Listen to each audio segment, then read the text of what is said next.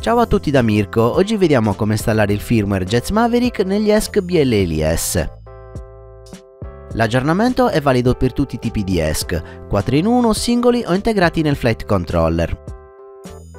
Jets Maverick è un'alternativa gratuita a JESC e serve per attivare gli RPM filter su Betaflight. Se invece state cercando i 48 kHz, il mio consiglio è di usare direttamente JESC, in quanto la sola componente di 48 kHz è gratuita. La prima cosa da fare quindi è scaricare e installare il BLL Configurator, vi lascio il link in descrizione. Io ho Windows quindi scarico questo file.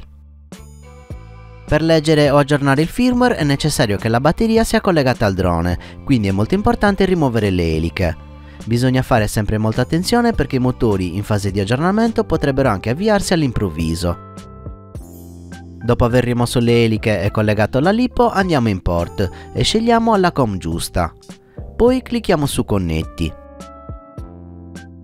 Adesso clicchiamo read setup.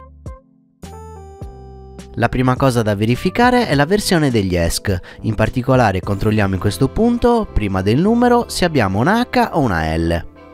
Se qui abbiamo un H, gli ESC sono compatibili con Jets Maverick, mentre se qui c'è una L dobbiamo fermarci, i nostri ESC non sono compatibili e non possiamo installare questo firmware. Una volta individuato il target specifico per i nostri ESC, annotiamolo perché ci servirà più avanti. Il mio quindi è GH30. Andando nella pagina ufficiale di Betaflight possiamo notare che la versione raccomandata è la 16.73 in quanto sono stati riportati vari problemi con le versioni successive. Per questo motivo oggi installeremo proprio la versione 16.73 ignorando le altre. Ora non ci rimane che scaricare Jets Maverick dal sito GitHub, come sempre il link è in descrizione. Come abbiamo detto la versione che ci interessa è la 16.73, quindi clicco qui. In questa pagina abbiamo tutti i target disponibili in ordine alfabetico. Scorriamoli fino a trovare quello che ci interessa. Il mio era GH30. Una volta individuato il file giusto lo clicchiamo.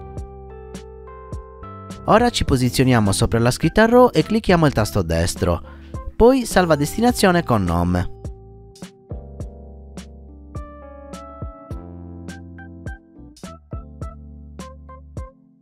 Ora possiamo ritornare sul BLL Configurator e clicchiamo su Flash All. Quindi scegliamo il file manualmente. E clicchiamo sul file che abbiamo scaricato. Come vedete partirà in automatico l'aggiornamento firmware.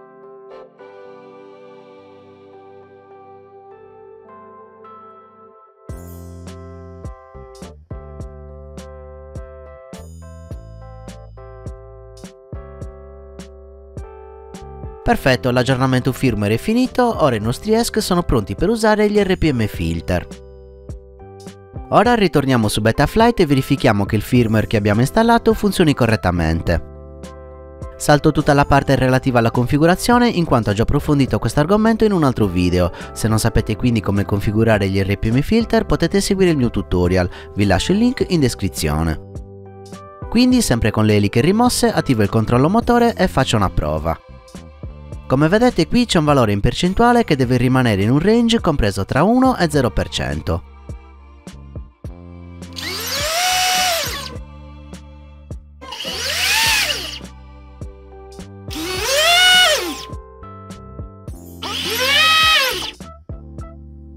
Perfetto, attivando il motore non supera l'1%, il firmware quindi riesce a gestire gli RPM filter senza problemi. Per oggi è tutto, abbiamo visto i passaggi necessari per installare Jets Maverick su BLLS in modo da poter usare RPM Filter con Betaflight. Se il video vi è piaciuto lasciate un like, iscrivetevi e attivate la campanella. Per supportare il canale vi ricordo di acquistare sempre attraverso il link in descrizione o diventando miei patrons cliccando il link a fine video.